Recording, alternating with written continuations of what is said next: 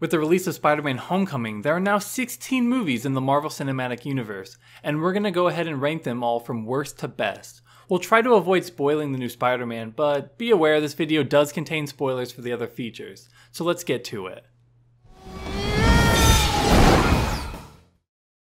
At number 16, The Incredible Hulk.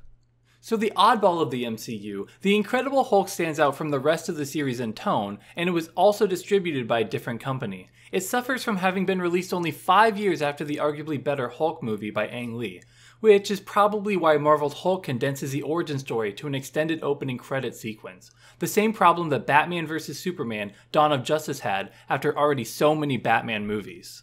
The Incredible Hulk is similar to other MCU movies, however, in its plotline about science gone wrong and a superhero preventing his powers from being exploited by governments and militaries. But ultimately, the movie lacks humor. Even the obligatory Stan Lee cameo is dramatic. And yet, there are also too many of Hulk's corny, cliched one liners. Hulk! Smash! The King Kongish love interest just doesn't work nor do the family dynamics between the love interest and her father hold interest. The climax is the same as Iron Man, where the superhero versus a seemingly stronger version of himself. Even one of the product placements in the movie doesn't work well. After watching Bruce Banner work in a decrepit soda factory, there's a conspicuous Coca Cola promotion, begging the question what do Coke factories look like? At number 15, Thor. There were some good ideas to make this Thor movie work on a level beyond campiness and the run of the mill superhero fare, but in the end, it doesn't entirely work. It does work in part, which is surely why so much of the Thor movies were carried over into the Avenger movies. To introduce the alien Thor to the MCU, the movie is appropriately set during its Earth scenes in New Mexico, the state of Roswell and the UFO conspiracy theories, and S.H.I.E.L.D. is placed in the position of government cover up.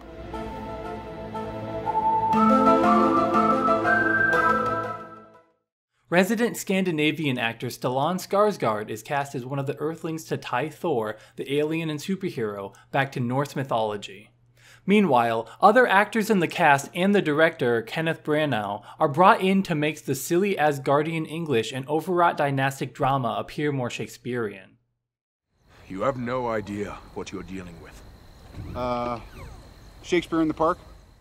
To top it off, the visual effects and production design for Asgard and outer space, reportedly based on Hubble Space Telescope photography, are very good. But then the movie crashes back to Earth, where we get King Arthur's sword being played as Thor's hammer and yet another unappealing love interest. Natalie Portman was great in The Black Swan, she is the opposite in Thor. Oh, and Hawkeye is blandly introduced in one scene? Also, what is with the canted angles in this movie? Some of them seem to be there just to disguise the full foot height difference between Hemsworth and Portman. At number 14, Iron Man 2. Iron Man 2 is often maligned as a mess, partly because Tony Stark is such a mess in the movie. You may or may not like it that way. Granted, Tony's health problem and his daddy issues being solved in one fellow swoop by an old film is contrived, to say the least. Mickey Rourke's villain and his motivations are weak. The character of Rhodey being replaced by another actor isn't ideal. Hey, buddy. Didn't expect to see you here. Look, it's me. I'm here. Deal with it. Let's move on. I, I just I drop it. And Iron Man 2 largely seems to exist solely for setting up future MCU movies. I told you I don't want to join your super secret boy band. But damn it, Scarlett Johansson kicks ass in the introduction of Black Widow, and uh, she shows some ass too. Pepper continues to be one of the better love interests in a screwball banter kind of way with Tony. Sam Rockwell isn't bad either as Tony's buffoonish competitor, and the computers and toys are cooler, taking influence from Minority Report. And current events. There's even a bit of self reflexive metaphor for the MCU that can be read into Iron Man 2.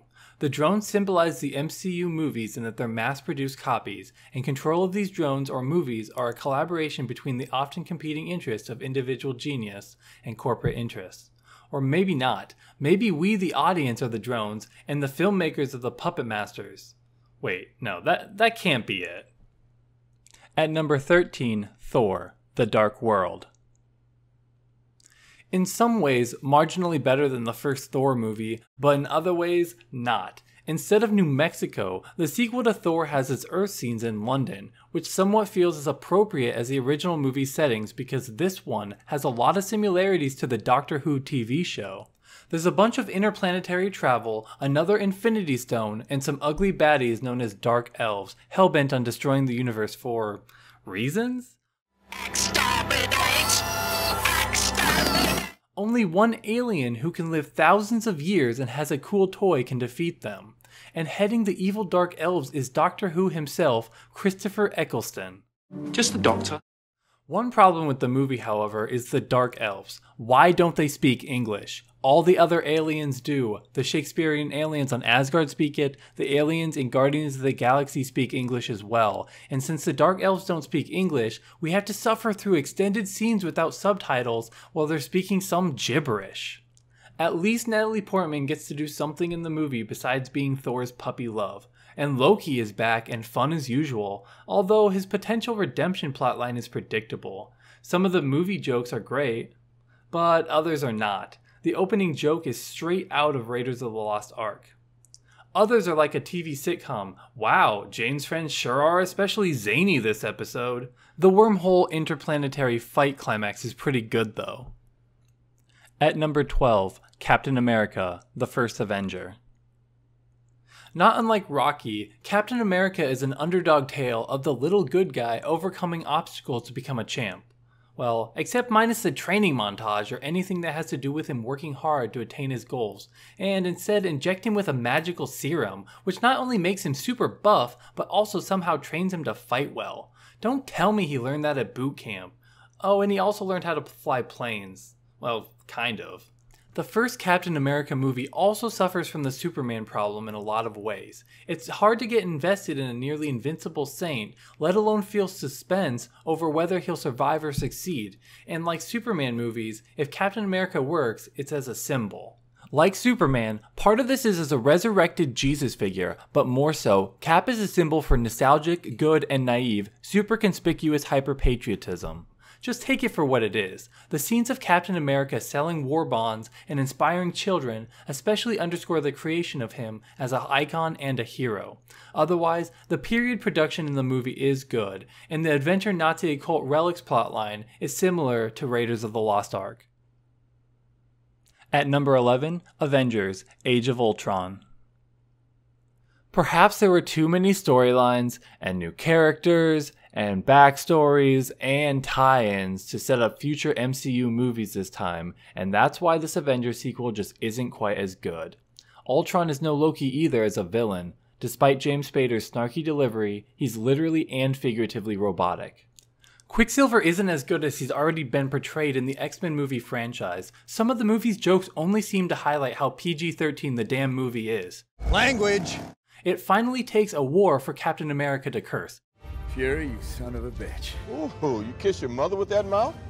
You know, because Captain has never been in a war among soldiers, or grew up poor in Brooklyn, or anything where people may have cursed frequently. No, I'm sure the mid 20th century was exactly like Leave It to Beaver. A more interesting movie might have involved Captain America cursing like a sailor, and Black Widow and the Hulk timing it so they actually met in the shower. Anyways, the actual movie hints a lot at the world not liking America's military adventurism, and here it's represented by the Avengers. There's a really cool fight scene between Iron Man and the Hulk, and the creation of Ultron clearly references Frankenstein. He's alive!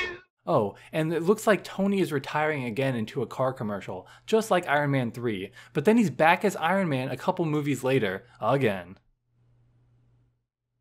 At number 10, Ant Man.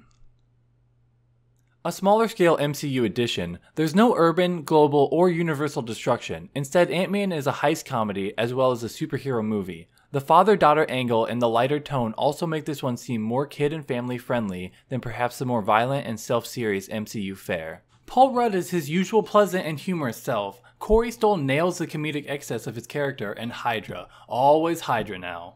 Ant Man avoids some obvious pitfalls too. Funny long shot views of tiny action are mostly reserved for the train set fight, and there isn't much in the way of overdramatic lingering on the death of ants. Andy! Where's Andy? Saved my life. you, Honey, I Shrunk the Kids, manipulating children to cry over a dead fucking ant. You.